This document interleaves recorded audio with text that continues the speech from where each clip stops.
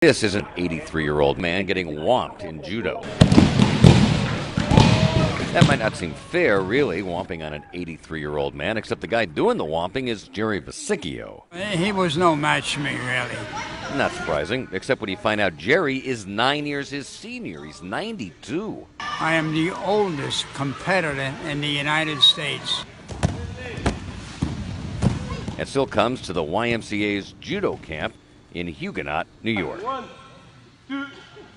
A retired phys ed teacher, Jerry has been throwing it around, kicking it since 1943. Several championships under his belt, which have come in handy more than a few times.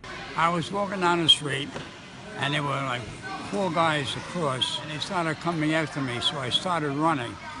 But I ran so that one could catch up, and then I belted him out. He really wanted the others to catch up. Yeah, one punch, another guy I threw in a shoulder throw.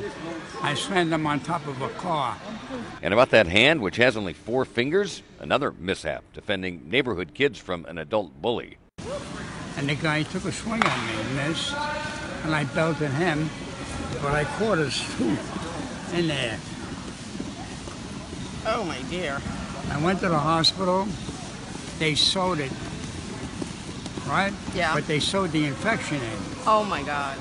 So I told him, why don't you just take the finger off? And he did. Jerry continues to teach and continues, as always, to be an inspiration. Jerry is what we all want to be. I mean, I'm only 61, and someday I hope to be in as good a shape as Jerry. She'll be chasing him for a while. He doesn't plan to ever quit. Because if I don't do it, I'll die.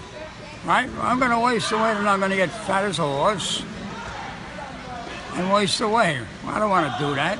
But he does promise to slow down on his throwdowns. The Sweet Spot. I'm Mike Sugarman, WCBS News Radio 880.